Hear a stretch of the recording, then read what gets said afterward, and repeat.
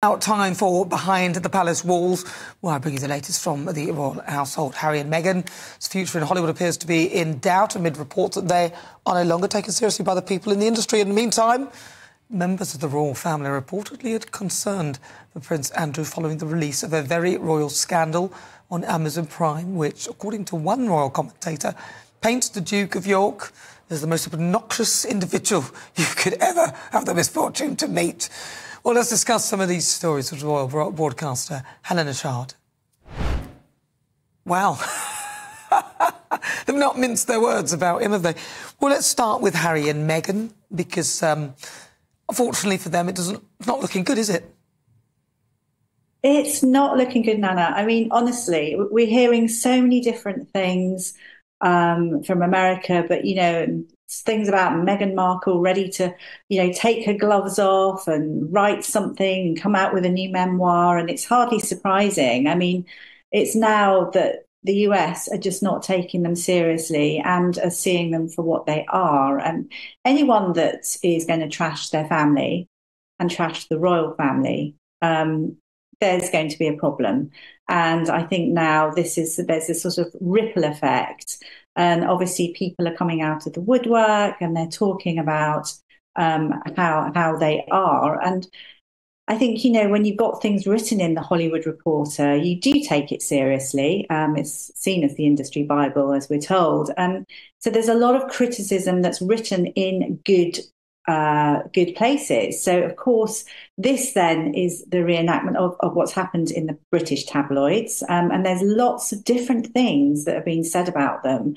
So, of course, there is so much distrust um, and dislike towards the couple. Um, and, and it's genuine, you know, it really, really is. I mean, if you think about all these thoughts of, you know, Duchess difficult, let's go back to Bill Simmons and grifters. Um, and now seeing all of this in, I don't know, I, I, is it dictator in heels or what, whatever it is, and not talking so kindly about Prince Harry either. I mean, what what is there and what is left?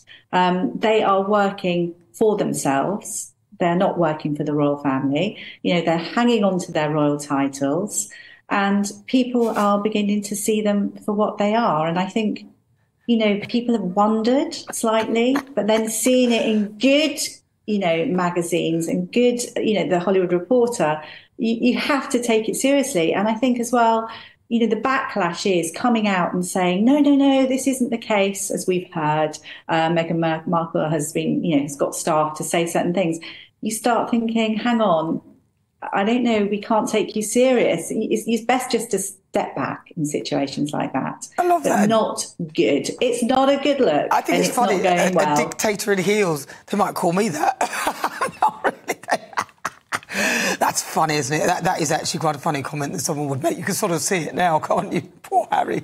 If it's true and if rumours are to be believed, and you know there's a lot of nonsense swilling out there, but there do seem to be an absurd number of people now coming out and saying the same thing. And they are on communications advice. I think it's number 11 now. So there's got to be something in some of it.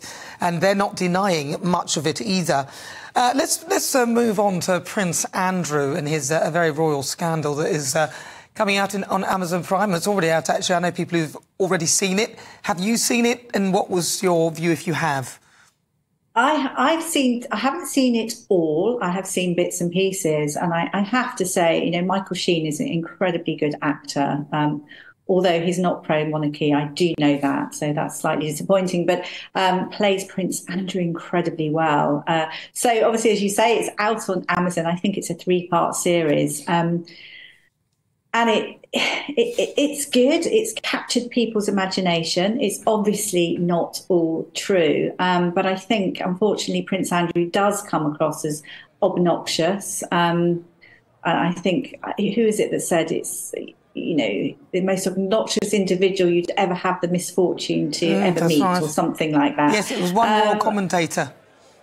Yes, that's right, and I think actually the royal family are pretty worried about Prince Andrew.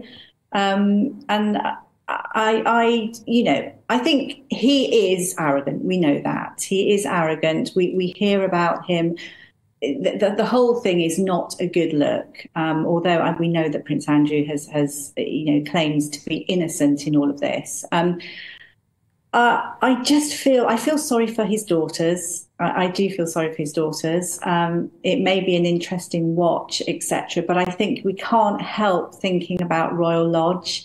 Um, and it's this whole not good. It's not a good look for the royal family. You know, it is time for him to move out of Royal Lodge and mm. for him to look at his daughters and look at things going forward. Um, where obviously Prince William will, will need more help in due course. Um, mm. I, I, you know, what can I say? Michael Sheen is great. Um, he, we, we, can think of, of, Prince Andrew. I mean, I've heard so much, but it's all alleged talk um, of, him. But we have heard he is depressed about things. I've equally heard that he was almost having, you know, inviting people round to watch mm. the screening. Um, I, I just think as well, it's a completely different. Uh, stance, isn't it? I think it's taken from Emily's point of view. It's his, it's it's her viewpoint. Um, but also there's quite a bit that's from the heart of Buckingham Palace and Royal Lodge. I look forward to watching it all. Um, I just hope that things can move on from here. Um, and I just, we don't want to be concentrating on Prince Andrew at the moment. We want to be mm. concentrating on how great our royal family is and how much um, positive uh, things are going on yeah. uh, rather than this, which is obviously yeah. a bit of a slant. Yeah. We don't want to think about the boorish, well, we don't, Eleanor. Uh, we, we, don't. Look. We don't really want to hear too much about him. But on this particular one, I, I guess it's come out on Netflix, so it is, if you're a royalist and you want to watch it, it might be worth the watch. It's on Amazon Prime. Helena Chard, thank you very much. Always a pleasure. Lovely to talk yeah. to you. I'm now joined by the former Labour Minister, Ivor Caplin. Ivor, welcome to the programme. Thank you very much for joining us this afternoon. So it seems that uh, reform, reform are going great guns by the looks of things. I know they are around there. It's an echo chamber, obviously, because you're going uh, there where people support you. But I actually went there because I'm trying to get to all the party conferences, and the energy and the amount of young people who are involved and really um, captivated by reform was astounding. Uh, I mean, we've all seen these things over the years, haven't we? If we're realistic, you know, it's it's not one thing because of the party. It's just a normal thing that seems to happen when the party is new, wherever that is. We saw it with the Lib Dems. I, I don't know when that was, about 15 years ago. You know, these things tend to happen. And it's only the two big parties where it doesn't appear to be like it is for the smaller parties we should wait to see how reform uh, reforms and, and progresses. But uh, let, us let's, let's swing ourselves now to the Labour Party. Their conference will start in earnest tomorrow. Um, A lot of people. Uh, it was supposed to be a shining moment where they could say what a massive majority uh, we achieved, but unfortunately for them, it's been overshadowed uh, by freebies. Uh, where, where do you stand with all of that? I know you're all very excited about this. You know, wherever you go in GB News, very excited about these so-called freebies. Look, this this happens in Parliament. The, this was given to um, to uh, Keir in particular, uh, and Rachel, I understand, and Angela, and from a donor, not from the not not from the government, not from money that is the public's money, which happened previously. Mm, this yeah. was done by a donor. And that's a perfectly legitimate thing to do. It's gone through the processes and everyone is moving on. Um, no, they're now, not moving on. Quickly, let's just let's just quickly deal with this issue about the football stadium, Arsenal, right. because this is actually quite important.